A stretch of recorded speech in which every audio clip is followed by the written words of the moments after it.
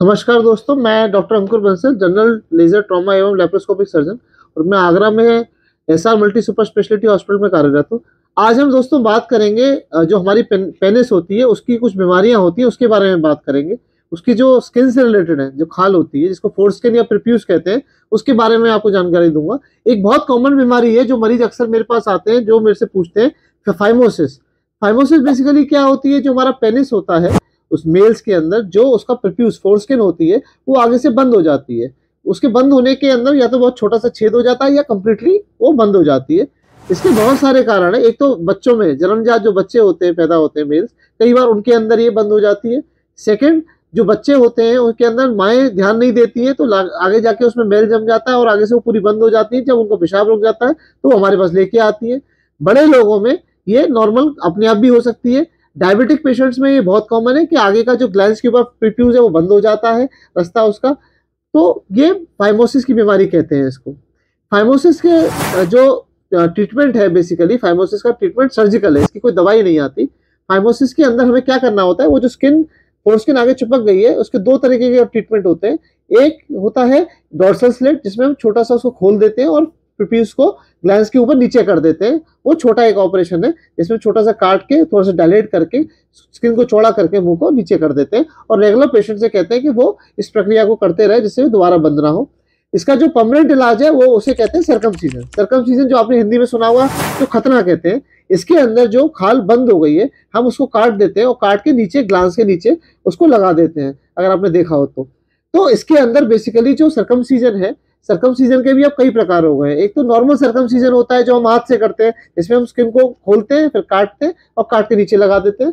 दूसरा तरीका आजकल जो नया आ गया है, वो आ गया है स्टेपलर सरकम सीज़न जिसको ZSR भी कहते हैं।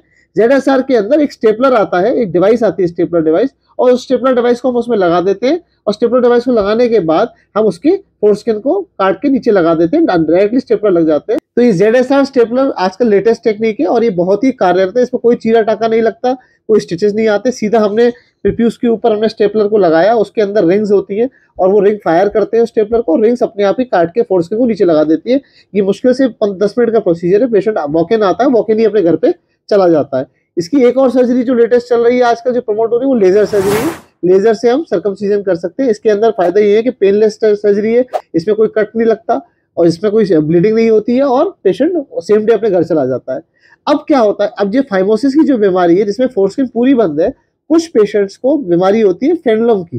फेनलम फेनलम होता है, हमारे फेनलम जो होता है, हमारे पेनिस के नीचे एक स्किन फोर्सकिन अटैच रह जाती है। तो जब हम पेनिस को खोलते हैं, जब फोर्सकिन को पीछे ग्लास में करते हैं तो ऊपर की स्किन तो खिसक जाती है, पर नीचे की स्किन खिसकती नहीं। तो वो पेशेंट्स हमारे पास आते हैं और उनकी मेन कंप्लेंट ये होती है कि हम जब इंटरकोर्स करते हैं या हम सेक्स करते हैं तो हमें जब हम ओपनिंग होती है, जब हम, हमारी पेनिस खुलती है तो हमें सीवियर पेन होता है, वो पूरी नहीं खुलती मतलब पार्शली खुलती है पूरी नहीं खुलती। फाइमोसिस में तो पूरी नहीं खुलती। इसमें पार्शली खुलती है पर नीचे वाला पार्ट एक नीचे वाला पार्ट यहाँ पे एक फंसा हुआ होता है, यहाँ से खुलता नहीं है। तो उस, जो जो स्ट्रक्चर है जिससे वो अटैच रहता है, उसको फ्रेंडलम कहते हैं। तो ऐसे मरीज़ जो कि ज़्यादातर ये यंग पेशेंट्स में होती है, इस, इन पेशेंट्स के अंदर हम फ्रेंडलोप्लास्टी करते हैं या फ्रेंडलेक्टमी करते हैं। उसमें हम पूरे स्किन को नहीं काटते, उसमें जो नीचे का पोर्शन फ्रेंडलम का जिससे अटैच है, उसको हम बड़ा करके, उसको हम लेजर से या हाथ से काट देते हैं और उसको खोल देते हैं। तो इसको कहते हैं फ्रेंडलोप्लास्टी या लेजर फ्रेंडलोप्लास्टी या फ्रेंडेक्टमी तो आजकल फाइमोसिस और फ्रेंडलम की जो समस्या है, ये बहुत बढ़ती जा रही है और ये